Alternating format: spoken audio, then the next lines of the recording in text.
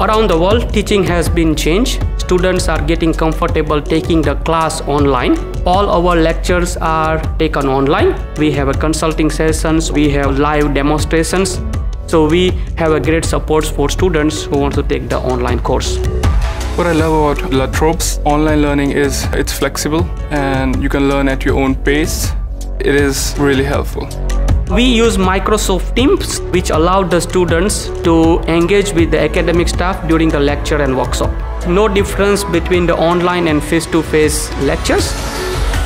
We have access to the virtual VM software provided by La Trobe, from which we can access the university computer online. We don't need a specific set of requirement for our PC because we can simply access virtually and all the software will run effortlessly.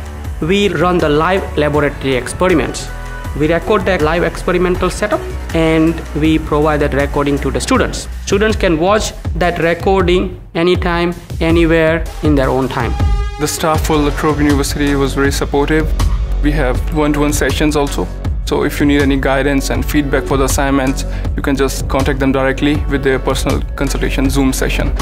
Industry connection is very important for job prospects we created the virtual uh, online IT and engineering event where students directly connect with industry, find job opportunities, and allow them to build a network.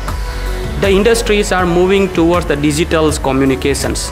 So the online learning is preparing the students for the future work demand. La Trobe's online learning is really amazing.